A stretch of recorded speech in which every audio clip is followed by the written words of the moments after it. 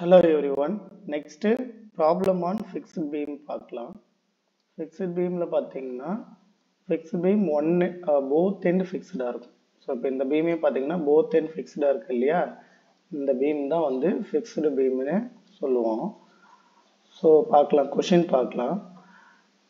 Fix fixed beam of six metre span so span வந்து six metre குறைஞ்சிருக்கும். Is loaded with a point load of 150 kilonewton at a distance of 2 meter from the each support.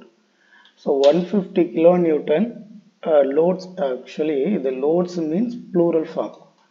எத்தனை load வேணாலும் இருக்கலாம் but இவங்க சொல்லியிருக்கிறது each சப்போர்ட்லேருந்து two metre so இந்த பக்கத்துலேருந்து ஒரு டூ மீட்டர் இந்த பக்கத்துலேருந்து ஒரு டூ மீட்டர் டிஸ்டன்ஸில் one fifty kilo newton load act ஆகுதுன்னு சொல்லியிருக்காங்க ஓகேங்களா ஸோ இதுதான் கிவன் கொஷினு இதில் draw the bending moment diagram and shear force diagram. Also find the maximum deflection. Take E, Young's modulus E equal to 200 gigapascal and I equal to 8 into 10 power 8 mm power 4. இவ்வளோதான் given question கொடுத்துருக்காங்க so இந்த questions பார்த்தீங்கன்னா இதில் fixed இன் moment நமக்கு கண்டுபிடிக்கிறதுக்கு formulas தெரியணும் நம்ம ரெண்டு மெத்தடில் கண்டு சாரி மூணு மெத்தடில் கண்டுபிடிக்கலாம் டைரெக்டாக ஃபார்முலா அப்ளை பண்ணி கண்டுபிடிக்கலாம் ஆர் அதர்வைஸ் மெக்காலிஸ் மெத்தடில் ஈக்குவேஷன் ஃபார்ம் பண்ணி பவுண்டரி கண்டிஷன் அப்ளை பண்ணி எம்ஏ எம்பி ஆர்ஏ ஆர்பி கண்டுபிடிக்கலாம். ஆர் மொமெண்ட் ஏரியா மெத்தட்லேயும் கண்டுபிடிக்கலாம். இருக்கிறதுலே ரொம்ப ஈஸியான மெத்தட் எதுனா நம்ம ஃபார்முலா பைகட் பண்ணிட்டோன்னா ஈஸியாக அப்ளை பண்ணி அதை பேஸ் பண்ணி சம் போட்டுக்கலாம். ரொம்ப ஈஸியாக இருக்கும். ஸோ நான் என்ன பண்ணியிருக்கேன்? அதுக்கான ஃபார்முலாஸ் எல்லாம் கொடுத்துருக்கேன். இஃப் இன் கேஸ் இப்போ டைப் ஆஃப் லோடிங் ஒரு சிம்பிளி சப்போர்ட்டட் பீமில் ஒரு நிமிஷம்.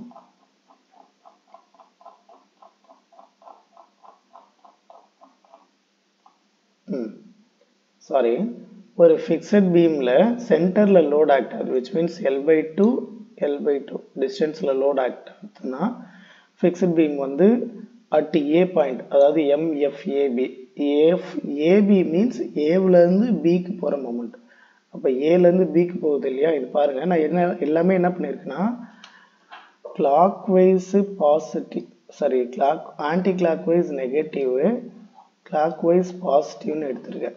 இப்போ அட் பி பாயிண்டில் பாருங்க கிளாக் வைஸ் போதா moment so clockwise positive so இங்கே இருக்க எல்லா ஃபார்முலாவும் பாசிட்டிவில் கொடுத்துருக்கேன். இங்கே இருக்க எல்லா ஃபார்முலாவும் நெகட்டிவில் கொடுத்துருக்கேன். ஸோ அப்படிதான். இதில் இப்போ சென்ட்ரல் லோடு ஆக்ட் ஆனால் மைனஸ் டபிள்யூஎல் பை எயிட்டு இதுவே ஏபி டிஸ்டன்ஸில் ஆக்ட் ஆனால் minus W AB square by L square at A பாயிண்ட்டுக்கு இதுவே பி பாயிண்டில் ஆக்ட் ஆச்சுன்னா W A square B by L square இதுதான் ஃபார்முலா அது மாதிரி நான் நிறைய கண்டிஷன்ஸ் கொடுத்துருக்கேன். இப்போ இந்த ப்ராப்ளம்க்கு இது ஓகே இது பார்க்கலாம். So first first fixed end moments கண்டுபிடிக்கிறோம். ஃபிக்ஸ்டு இன் மூமெண்ட்ஸ்க்கு ஃபார்முலா எழுதிக்கிறேன். ஏபினாக்க W A B square divided by L square தான். ஸோ இது ஃபஸ்ட்டு லோடுன்றதால டபிள்யூ ஒன்றுன்னு கூட வச்சுக்கலாம் இல்லை டபிள்யூன்னு கூட வச்சுக்கலாம். அது சேம் லோடு தான். ஒன் ஃபிஃப்டி ஒன் ஃபிஃப்டி தான். நீங்கள் நார்மலாக இந்த ஃபார்முலா எழுதி காட்டணும்னு இல்லை. சிம்பிளாக W A square B divided by L sorry W AB square divided by L ஸ்கொயர்னு ஜஸ்ட் ஃபார்முலா மட்டும் எழுதி காமிச்சிங்கன்னா கூட போதும் தான் ஓகேங்களா ஸோ ஒன்ஸ் எழுதினாவே ஓகே தான். இது ரெண்டுத்தையும் இது பண்ணணும்னு அவசியம் இல்லை. நான் உங்களுக்கு புரியணும்னு எழுதியிருக்கேன். பாருங்கள் கிவன் டேட்டாவில் இந்த first load W one equal to one fifty A is equal to இந்த லோடுக்கு ஏ டிஸ்டன்ஸ் வந்து டூ மீட்டர் ஓகேவா அடுத்து மீதி இருக்கிற டிஸ்டன்ஸ் பி வந்து four metre next W two again இதுவும் ஒன் ஃபிஃப்டி ஏ டிஸ்டன்ஸ் இந்த லோடுக்கு பார்த்தீங்கன்னா இங்கே ஃபோர் மீட்டர் இருக்கு இல்லையா? ஃபோர் மீட்டர் செகண்டாக இருக்க லோடு வந்து டூ மீட்டர் ஸோ இப்படி தான் பார்க்குறோம். இந்த வேல்யூஸ் எடுத்து நம்ம ஃபார்முலாவில் சப்ஸ்டியூட் பண்ணால் போதும். Moment at fixed sorry moment at A அதுக்கு ஃபார்முலா பார்த்தோன்னா just W A B square divide by L square தான் வேல்யூவை ப்ளக் பண்ணுறோம் ப்ளக் பண்ணோன்னா நமக்கு minus two hundred kilo newton metre because it is anticlockwise so minus two hundred kilo newton metre அடுத்து clockwise இப்போ பாருங்கள் இந்த பீம் வந்து சிமெட்ரிக்கல் பீமு ஸோ கிளாக் வைஸ்னாக்க இங்கே மைனஸில் வந்தால் இங்கே ப்ளஸில் வரும். மற்றபடி எல்லாம் சேம் ஆன்சர் தான். ஸோ டவுட் இருந்தால் ஃபார்முலா போட்டு செக் பண்ணிக்கோங்க. ஓகேங்களா ஸோ நெக்ஸ்ட் ஒன் வந்து ரியாக்ஷன்ஸ் இதை பேஸ் பண்ணி ரியாக்ஷன்ஸ் எப்படி கண்டுபிடிக்கலாம்? அப்படின்னு பார்த்தீங்கன்னா இது அகெயின் சிமெட்ரிக்கல் லோடு தான். ஸோ இங்கே என்ன லோடு ஆக்ட் ஆகுதோ அதே லோடு தான் இங்கேயே ஆக்ட் ஆகும். ஸோ ஏன்னா சிமெட்ரிக்கல் பெண்டிங் மூமெண்ட்டும் சேமாக தான் இருக்குது இந்த சென்டரில் நம்ம கோடு கழிச்சோன்னா லெஃப்ட் ஹேண்ட் சைடு என்ன ஆஃப் லெஃப்ட் ஆஃப் என்ன இருக்கோ அதே ரைட் ஆஃபில் இருந்ததுன்னா இது சிமெட்ரிக்கல் பீமு ஸோ டோட்டல் லோடில் பாதி தான் டிஸ்ட்ரிபியூட் ஆகும். ஸோ ஒன் ஃபிஃப்டி இந்த பக்கமும் ஒன் ஃபிஃப்டி இந்த பக்கமும் டிஸ்ட்ரிபியூட் ஆகுது. ஓகேங்களா next shear force diagram shear force diagram பாருங்கள் இப்போது vertical reactions at A B கண்டுபிடிச்சோமா? ஏவோட ஏ பாயிண்டில் ஒன் செக் ஏ பாயிண்டில் இங்கே ஆர்ஏ இருக்கும். இங்கே ஆர்பி இருக்கும். ஸோ ஃபஸ்ட்டு ஷியர் ஃபோர்ஸ் வரைகிறோன்னா ஆர்ஏ மேலே போகும். அப்படியே வந்துட்டு இந்த ஒன் ஃபிஃப்டி லோடு கீழே டவுன் ஆகும். நமக்கு தெரியும் ஆர்ஏவும் ஒன் ஃபிஃப்டி தான். ஸோ டவுன் ஆகிடும் அகெயின் இது வரைக்கும் என் நடுவில் எந்த லோடும் இல்லை. திரும்ப அகெயின் இந்த ஒன் ஃபிஃப்டி லோடு டவுன்வர்டில் வருது. ஸோ மைனஸ் ஒன் ஃபிஃப்டி திரும்ப ரியாக்ஷன் சட்டு பி வந்து ஒன் ஃபிஃப்டி ஸோ மேலே ஆகிடும் இது பாசிட்டிவு இது நெகட்டிவ்ன்ற மாதிரி ஷேர் ஃபோர்ஸ் வந்துடும் ஸோ அதுதான் வரைஞ்சிருக்கேன். புரியுதுங்களா? So one fifty positive one fifty down load ஆச்சுன்னா இங்கே ஜீரோ ஆகிடும் அகைன் இது வரைக்கும் ஜீரோ தான். திரும்ப minus one fifty again zero okay so next bending moment diagram வரைகிறோம் பெண்டிங் மூமெண்ட் டயக்ராம் வந்து இதுக்கு முன்னாடி வரைஞ்சதெல்லாம் சிம்பிளாக வரைஞ்சிருப்போம். லைக் நம்ம செகண்ட் யூனிட்டில் வரைஞ்சதெல்லாம் ரொம்ப ஈஸியாக இருந்திருக்கும். பட் இதுவும் ஈஸி தான். எப்படின்னா இப்போ ஃபஸ்ட்டு ஃபிக்ஸ்டு எண்ட் மூமெண்ட்டை ட்ரா பண்ணிக்கோங்க. ஃபிக்ஸ்டு எண்ட் மூமெண்ட் பாருங்கள் left hand side two hundred kilo newton மீட்டரா right hand சைடும் two hundred kilo newton metre சரிங்களா? ஸோ இது ரெண்டும் ட்ராப் பண்ணிக்கிறோம். நெக்ஸ்ட்டு பார்த்தோன்னா இது இந்த பாயிண்ட்டுக்கு இது ஃபிக்ஸ்டு எண்ட் மூமெண்ட்டு திரும்ப பீமை சிம்பிளி சப்போர்ட்டடாக கன்சிடர் பண்ணிக்கோங்க. சிம்பிளி சப்போர்ட்டடாக கன்சிடர் பண்ணும்போது பீமில் இந்த இடத்த வந்து ஆர்ஏ இருந்திருக்கும். இந்த இடத்த வந்து ஆர்பி இருந்திருக்கும். இப்போ இந்த பா பெண்டிங் பாயிண்ட் பெண்டிங் மூமெண்ட் இந்த பாயிண்ட்டுக்கு என்ன? RA into distance RA one fifty into two so three hundred இந்த சைட்லேருந்து வந்தீங்கன்னா இதுவும் ஒன் ஃபிஃப்டி தான். One fifty into two three hundred so இதுதான் பெண்டிங் மூமெண்ட் டயக்ராமு எப்பயுமே இந்த இன்டிட்டர்மினேட் பீம்ஸ் எல்லாத்துக்குமே அதாவது கண்டினியூஸ் பீமோ ப்ராப்பர்டி கேன்லிவர் பீமோ ஆர் இது மாதிரி ஃபிக்ஸ்டு பீமோ அப்படி இருந்தீங்க இருந்ததுன்னா ஃபிக்ஸ்டு இன் மூமெண்ட்டுக்கு ஒரு டிராயிங் வரும். ப்ளஸ் சிம்பிளி சப்போர்ட் மூமெண்ட்டுக்கு ஒரு டிராயிங் வரும். ஓகேங்களா ஸோ ரெண்டுத்தையும் கம்பைன் பண்ணி வரைஞ்சிடுறோம். வரைஞ்சிட்டு இது எங்கெல்லாம் மீட் ஆகுதோ இப்போ இந்த பாயிண்ட் இருக்கு இல்லையா? இந்த பாயிண்ட் பார்த்தீங்கன்னா நெகட்டிவ் அகெயின் சேம் இந்த பாயிண்ட் பார்த்தீங்கன்னா நெகட்டிவ் எடுத்துக்கிறோம்.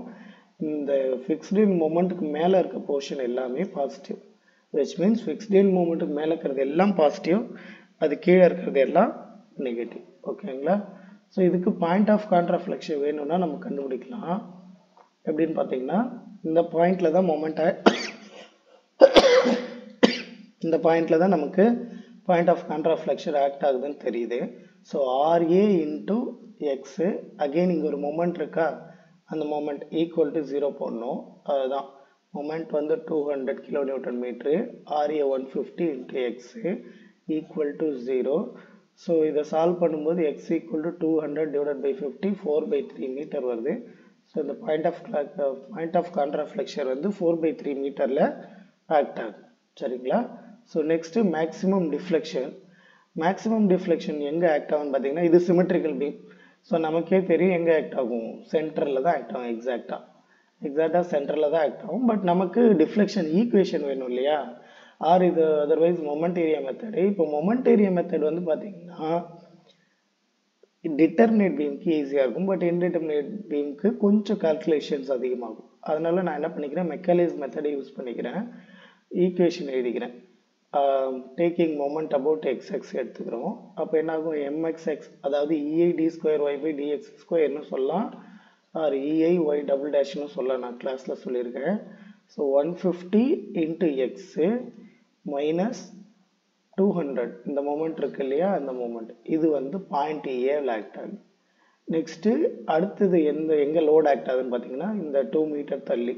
அது one fifty into x minus two இதுதான் வந்து ஈக்குவேஷன் ஆஃப் எலாஸ்டிக் கர்வ்னு சொல்லுவோம். ஓகேங்களா இதில் நம்ம இப்போது இன்டகிரேட் பண்ண போகிறோம் double integration Macaulay's means higher version of double integration இல்லையா? ஸோ ஃபஸ்ட்டு இன்டகிரேட் பண்ணனா இஐ டிஒய் பை டிஎக்ஸு பவரில் ஒன்று குறைஞ்சிரும். ஒன் ஃபிஃப்டி அப்படியே வச்சுக்கிறோம். எக்ஸை இன்டகிரேட் பண்ணால் x square by two two hundred அப்படியே வச்சுக்கிறோம். எதுவுமே இல்லாததால் எக்ஸ்ன்னு எழுதிக்கிறோம். ப்ளஸ் ஒரு கான்ஸ்டன்ட் அகெயின் இந்த ஒன் ஃபிஃப்டி அப்படியே வரும். இதை வந்து இன்டெகிரேட் பண்ணும்போது x minus two whole square divided by two இங்கே எப்படி எக்ஸ் இன்டெகிரேட் பண்ணும்போது எக்ஸ் ஸ்கொயர் பை டூ வந்ததோ அதே சேம் தான். அகெயின் என்ன பண்ணோம்னா இன்டெகிரேட் பண்ணுறோம் அகெயின் இன்டெகிரேட் பண்ணும்போது நியூமரிக்கல் வேல்யூ அப்படியே வச்சுக்கிறேன் எக்ஸ் ஸ்கொயரை இன்டெகிரேட் பண்ணி எக்ஸ் கியூபு பை த்ரீன்னு வரும். ஸோ டூ இன்ட்டு த்ரீ சிக்ஸ்ன்னு எழுதியிருக்கேன். இந்த எக்ஸ் கியூப் அப்படியே எழுதியிருக்கேன். நெக்ஸ்ட்டு டூ ஹண்ட்ரட் எக்ஸுக்கு பதிலாக எக்ஸ் ஸ்கொயர் பை டூ இந்த இதுக்கு எப்படி நம்ம இந்த பாயிண்டில் எப்படி நம்ம எக்ஸ் ஸ்கொயர் பை டூ போட்டோமோ அதே சேம் தான். Plus C one into x plus C two minus one fifty x minus two whole cube divided by six because இங்கே த்ரீ வருது ஆல்ரெடி டூ இருக்குது சிக்ஸு ஓகேங்களா ஸோ இப்படி நம்ம இன்டகிரேட் பண்ணிடுறோம். இன்டகிரேட் பண்ணதுக்கப்புறம் பவுண்டரி கண்டிஷன் வந்து இப்போ நீங்கள் ஃபிக்ஸ்ட் பீமுக்கு ஒரி பண்ணணுன்னே அவசியம் இல்லை. Why I I'm saying this means boundary condition apply பண்ணி நம்ம கான்ஸ்டன்ட் வேல்யூ தானே கண்டுபிடிப்போம். எப்பயுமே கான்ஸ்டன்ட் வேல்யூ ஃபார் ஃபிக்ஸட் பீமுக்கு வந்து C one equal to C two equal to zero தான். அதை நீங்கள் ஒரி பண்ணிக்கவே தேவையில்ல. ஸோ டைரெக்டாக நம்ம வந்து மேக்ஸிமம் ரிஃப்ளெக்ஷன் கண்டுபிடிக்கலாம். மேக்ஸிமம் ரிஃப்ளெக்ஷன் நமக்கே தெரியும். சென்டர் பாயிண்டில் ஆக்ட் ஆகும். So x equal to three அடுத்து C one C two value தெரிஞ்சிருச்சு. E இஐயோட வேல்யூ கிலோ நியூட்டன் மீட்டர் ஸ்கொயருக்கு கன்வெர்ட் பண்ணோம். ஸோ வாங்க எப்படி பண்ணலான்னு பார்க்கலாம். இயோட value two hundred giga pascal கொடுத்துருக்காங்களா? Giga means ten power nine நமக்கு தெரியும் mega pascal equal to newton per MM square so ten power giga ten power nine mega வந்து டென் பவர் சிக்ஸ் அப்போ த்ரீ மட்டும் எக்ஸ்ட்ராவாக இருக்கா? ஸோ நான் என்ன பண்ணிக்கிறேன்னா அந்த த்ரீயும் சேர்த்து two hundred into ten power three mega பாஸ்கல்னு எழுதிக்கிறேன். நெக்ஸ்ட்டு இங்கே கொடுத்துருக்க ஐ வேல்யூ அப்படியே எழுதிக்கிறேன். இது மல்டிப்ளை பண்ணால் sixteen into ten power thirteen newton mm square நமக்கு லோடு எல்லாம் கிலோ நியூட்டனில் இருக்குது அடுத்து டிஸ்டன்ஸ் மீட்டரில் இருக்குது அதனால் என்ன பண்ணிக்கிறோன்னா இந்த வேல்யூவை கிலோ நியூட்டன் மீட்டர் ஸ்கொயராக மாற்றிக்கிறோம் கிலோ நியூட்டன் மீட்டர் ஸ்கொயராக மாற்றும் போது நியூட்டனை கிலோ நியூட்டனாக மாற்றுறதுக்கு ten power minus three mm மீட்டராக மாற்றுறதுக்கு டென் பவர் மைனஸ் த்ரீ அப்போ mm ஸ்கொயர்னா power two so three into two minus six ஒரு ஆல்ரெடி மைனஸ் த்ரீ ஸோ மொத்தம் மைனஸ் நைன் தேர்ட்டீனில் மைனஸ் நைன் போனால் ஃபோரு ஸோ இந்த டூ இன்ட்டு எயிட் மட்டும் sixteen multiply பண்ணி டென் பவர் ஃபோர்னு எழுதிக்கிறேன் ஓகேங்களா ஸோ இந்த வேல்யூ தான் இஐன்னு எடுத்துக்கிறோம். அந்த இஐ வேல்யூவை சப்ஸ்டியூட் பண்ணுறோம் இஐ வேல்யூ சப்ஸ்டியூட் பண்ணனா சிக்ஸ்டீன் இன்ட்டு டென் பவர் ஃபோர்னு எடுத்துக்கிறேன். இப்போது இந்த ஈக்குவேஷனில் சப்ஸ்டியூட் பண்ணலாம். இதுதான் வந்து deflection equation இஐயோட value sixteen into ten power six four எழுதிக்கிறேன். அடுத்து one fifty x q by six இருக்கு இல்லையா? அதை அப்படியே எழுதிக்கிறேன். எக்ஸுக்கு பதிலாக த்ரீ சப்ஸ்டியூட் பண்ணிக்கிறேன். Minus two hundred three square by two because இங்கே என்ன இருக்குன்னு பார்த்தீங்கன்னா x square by two plus c one தெரியும் ஜீரோ சி டூ தெரியும் zero again one fifty x so one fifty x வந்து three minus two cube divide by six நம்ம சம்மை solve பண்ணும்போது நமக்கு ஒய் மேக்ஸ் ஒன்றும் இல்லை இது அப்படியே ஃபுல்லாக கேல்சில் ஒய் மேக்ஸுக்கு பதிலாக எக்ஸுன்னு சப் ஆல்ஃபா எக்ஸ் சப்ஸ்டியூட் பண்ணி அப்படியே ஈக்குவேஷனை சா போட்டு சால்வ் பண்ணோன்னா minus one point five six three ten power minus three வருது. மைனஸ் எதை டினோட் பண்ணுதுன்னு பார்த்தீங்கன்னாக்க டவுன்வர்ட் டிஃப்ளெக்ஷன் ஓகேங்களா அந்த மைனஸ் வந்து டிஃப்ளெக்ஷன் டவுன்வர்டாக ஆக்ட் ஆகுதுன்றதான் டிஃப் யூஸ் பண்ணுது. ஸோ அதை பற்றி ஒரி பண்ணிக்க வேண்டாம். வேல்யூ பார்த்தீங்கன்னா one point five six three into ten power minus three நம்ம வேல்யூ எல்லாமே மீட்டர் கிலோமீட்டர் கிலோ நியூட்டனில் சப்ஸ்டியூட் பண்ணிக்கிறோம். ஸோ டிஃப்ளெக்ஷன் மீட்டரில் வரும். மீட்டர் எம்எம்மாக மாற்றினோன்னா ten power three ten power த்ரீயும் டென் பவர் மைனஸ் த்ரீயும் கேன்சல் ஆகிடும் ஸோ ரிமைனிங் இருக்கிறது minus one point five six three இதுதான் வந்து மேக்ஸிமம் டிஃப்ளெக்ஷன் ஓகே தேங்க்யூ